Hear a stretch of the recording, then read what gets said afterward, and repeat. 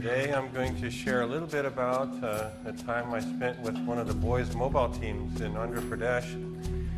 And um, it was uh, really a thrill for me to spend some time with these fellas. And, um, and I hope it's a, a real blessing to you all because we pray for mobile teams and we pray for vehicles and equipment. And, uh, and most of all, we pray for fruit.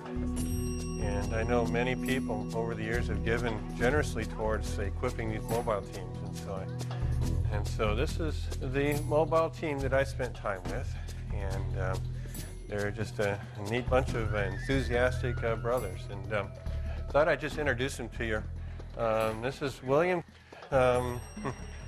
He's a team leader, and I've met him a number of times in the past. As he's been involved with mobile teams for uh, several years now, I think four or five years. Um, Brother Shook is a driver, and he's also been involved with mobile teams for a few years too. So these, both those guys are veteran mobile team members. Um, Brother Samuel, he's in charge of the literature of the team. And then we've got uh. He's in charge of music. He's a wonderful singing guy, great voice. And so he's in charge of the music and the instruments and all that stuff. And then um, Bonus, he's the audio-visual guy.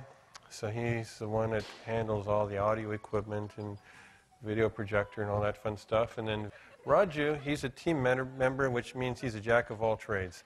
So he does a little bit of everything and whatever's needed, he's right there. And then the final team member is uh, Judo Jeep.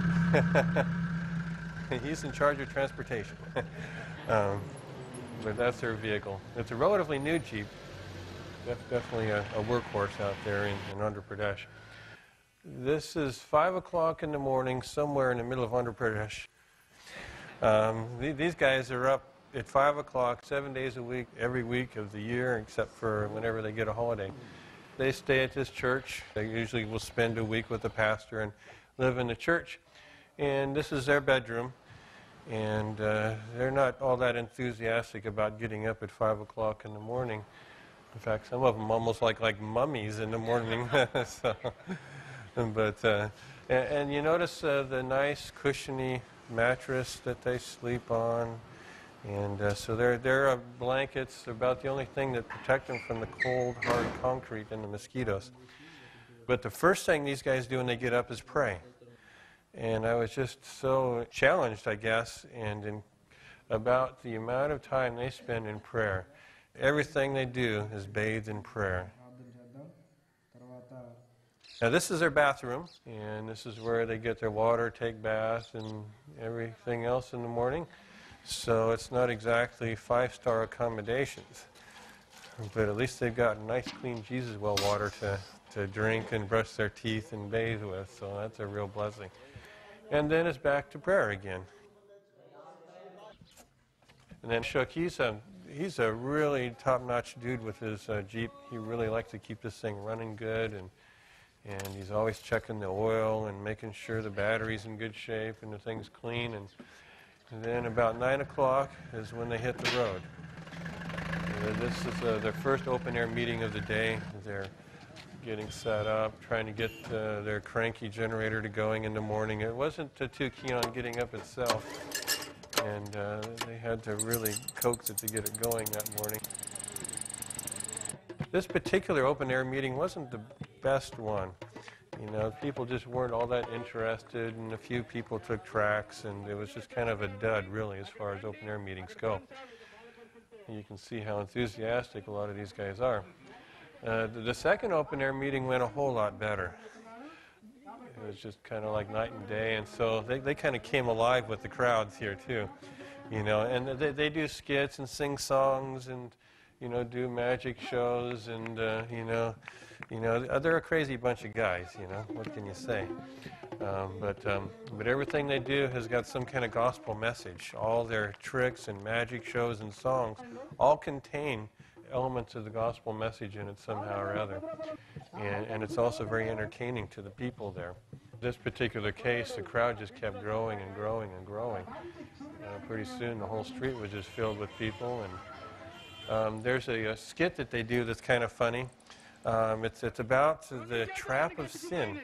And they've got this chair that's got a sign on it that says, Don't touch. And so this guy comes walking by and he sees the sign, and of course he can't resist the temptation, and so he touches it and then he's stuck.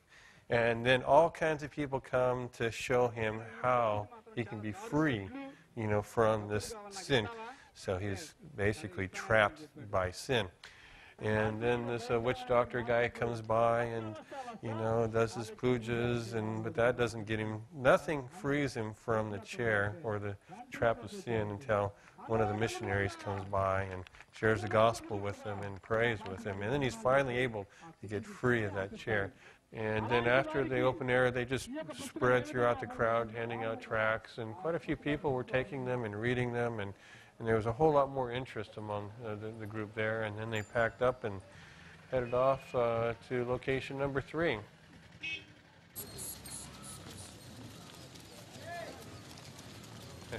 it was just a typical village, you know. You're setting up, a big herd of goats comes walking right through while you're trying to set up everything, and and uh, the goats didn't stick around for the meeting.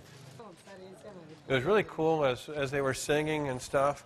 Uh, there's a school nearby, and so the, the kids could hear the missionaries, you know, singing their songs and stuff.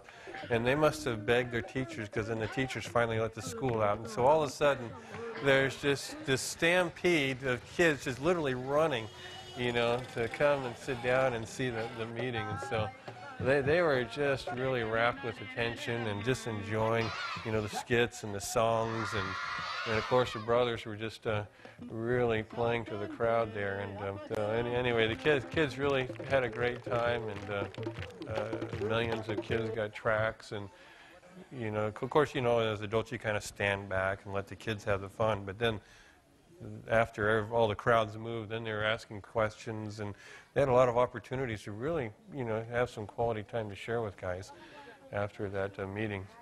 And then it's on the road again, and this is not quite I-35 here. Um, uh, you know, traffic in India can be interesting. You got to dodge water buffalo and uh, bicycles and auto rickshaws and people.